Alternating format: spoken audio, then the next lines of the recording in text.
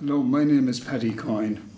I'm an avid golf player and I'm a member of the European Club and Laoghaire Golf Club. And last year I've had a lot of health problems and they've brought me down a lot and caused me a lot of problems, so I had to try and do something about it. First, I had um, strained ligaments in my legs, which caused lack of movement, so it increased, decreased my ability to play. And then I had a hernia operation, and I didn't recover too well from that. So I was feeling fairly low when my friend introduced me to the frequency band. So he gave me two of them, a blue one and a black one. And I also suffer from sleep apnea. So um, I wanted to get rid of all those things. And I also have a slight problem with every now and again I feel disorientated mentally. And I know when it's coming because I get a slight pain in my head, an internal pain. Now, it's not a headache. So that was what I had to deal with. So I wasn't feeling too good.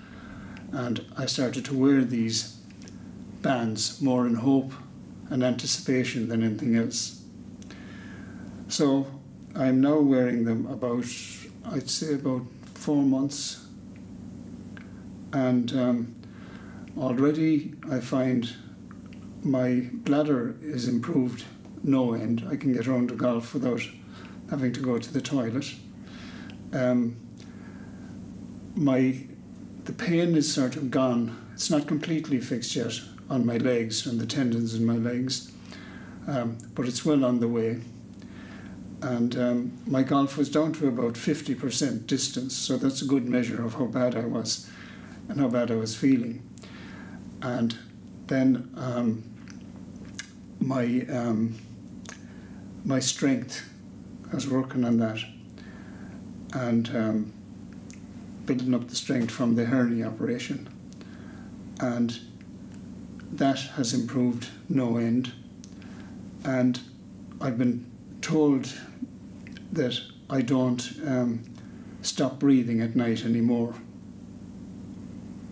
So that's um, I'm down. I'm up now to about um, I'd say about 80% strength back.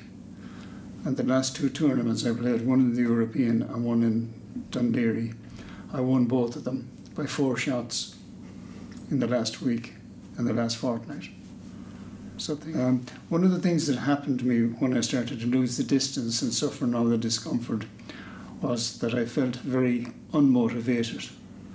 And um, after a few weeks of this thing, I sort of was charged with get up and go. I just felt I can't waste my life. And the motivation started to come.